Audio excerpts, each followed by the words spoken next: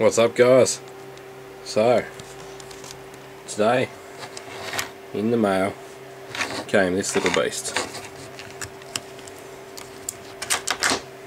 It's a wind up, little hand cranked USB dynamo. The red light means that you're making some power. So basically, what they reckon you can do on their uh, listing is give it a wind and uh, use it to charge up your phone or uh, it's got a picture of a phone and a tablet and a few other bits and pieces. It's got this little USB voltmeter. Let me see if I can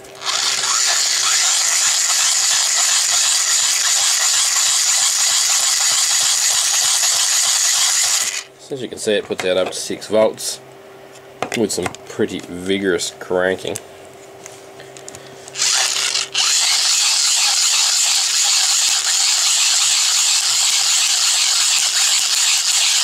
So with it under load like that you can actually hear the gears in it skipping.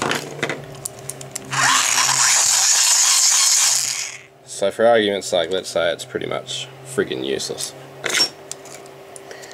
I bought it with 100% the intention just to pull it apart.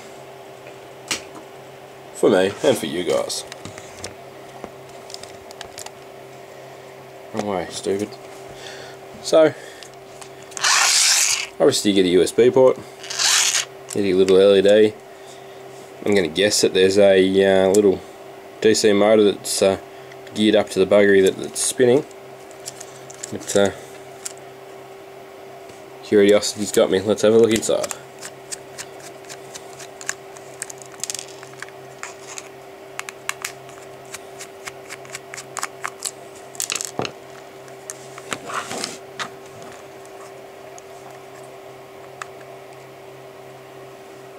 Oh wow, look at the uh, gearing up. So we've got our primary drive, so we've got one step up, two step up, three step up, and the fourth. There's four step-ups. So whatever speed I'm actually winding it at, it's four times that, or more than more than four times that had the motor. There's four steps in the uh, speed ramp up. I've actually got some uh, pretty thick and heavy grease on them. As you can see the shafts are only just sitting plastic mold. Plastic mold's pretty weak at best, I guess you'd say. And at the bottom here, as I thought, a little uh, DC motor. Made in China, what are the chances? Oh, alright, it's all out there, out in the open.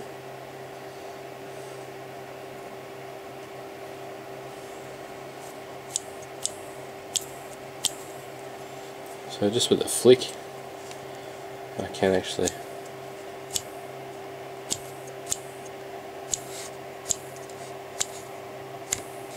make that light up.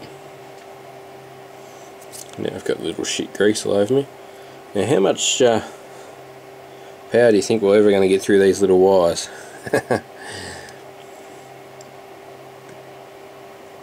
so what's the board got to say? Not a great deal there's some uh, numbers. Basically just component component ratings. It's an extremely simple board. A diode, two diodes, two resistors a three-legged IC which is on a big wonky lean because one of the legs was too short and a capacitor and an LED nothing super exciting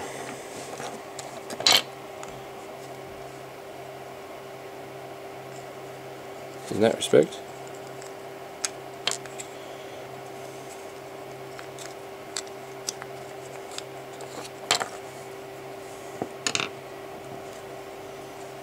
Why was it making that shearing noise?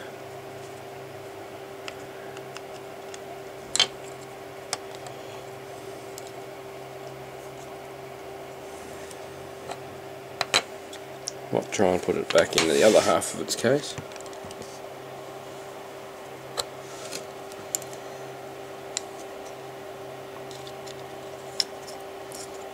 Down this end.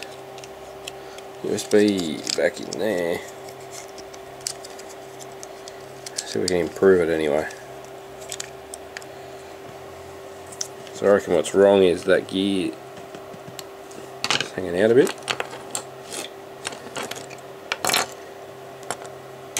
Oop. And it's so damn slippery.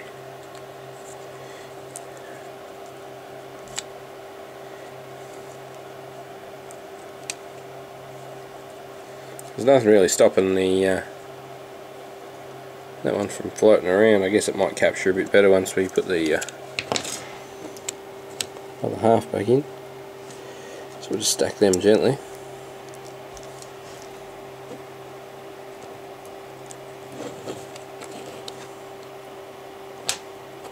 Quite amazing that you can hand crank it so fast considering the uh, the build quality.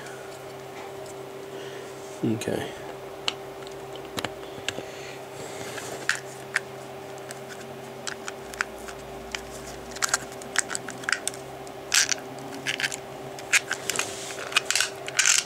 Something's not quite lined up.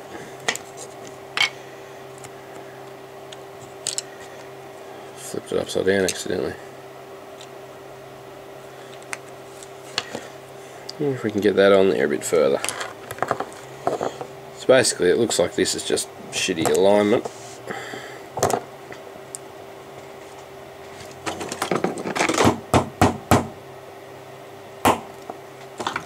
It's way too far, but at least we know it moves. Give it a wiggle back. So I purchased this on Geek, as a lot of the rubbish I buy comes from. If you're one of them people that goes, oh, who would ever buy one of them? Yeah, it could have been me.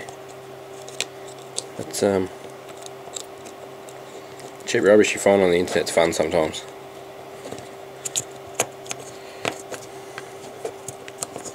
Again, you have to look at what someone like Big Clive does, and uh, he makes cool videos, reverse engineering cheap shit every day. He's also a very, very clever man. But um, if you don't know who Big Clive is, YouTube search him. It will uh, tickle your fancy. Righto. So I reckon we've got a better alignment on last gear to motor. Let's chuck that back together.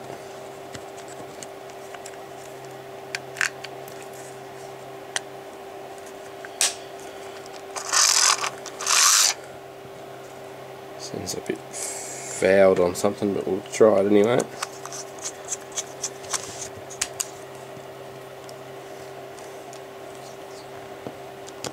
As soon as I seen it, I knew I had to go and get one.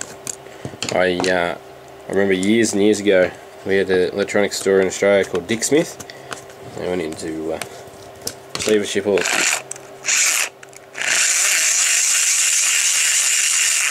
not all that long ago, but um, Dick Smith was an electronics store and they had these um, torches. And they were a uh, diamond, dynamo powered torch and a uh, couple of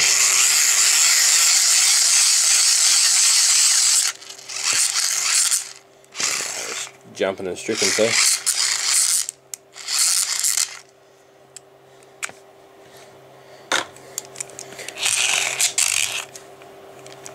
So that is the quality of it. Anyway, dynamo, dynamo powered torches. They were uh, only small, only ran, they had a solar panel on the side. They had, on one side, they were waterproof. Uh, they could be screwed apart. They ran a couple of NiCad AA rechargeables. And uh, yeah, just really, really. Well, they weren't cheap, that's the thing, they were like 70 bucks. I remember annoying dad until he let me buy one with some birthday money or whatever. And uh, when I actually bought one, you could sit there and wind the dynamo for like 15 minutes and you'd get maybe half an hour's worth of light out of it. It was poor. And uh, when I seen this on Geek for $1.50 Australian, I, I just had to buy one.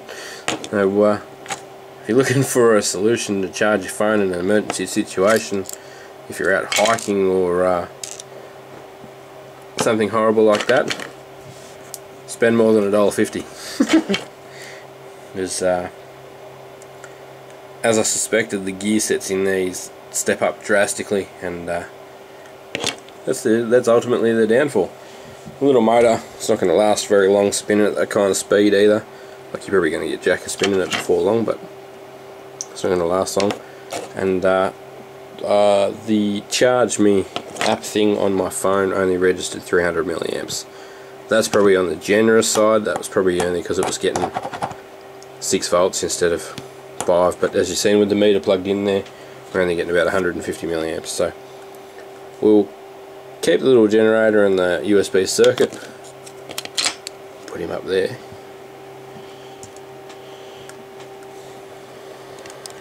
Up there for future things. We might put a little uh, little drill or something on there and see what kind of voltage we can get out of it. Put in here. Didn't last long. That's the end of that. Thanks heaps for watching. Thanks for subscribing. If you like the automotive stuff I do, go and follow One Up the Sleeve Customs Automotive as well. If not, just have a nice day. Catch you later.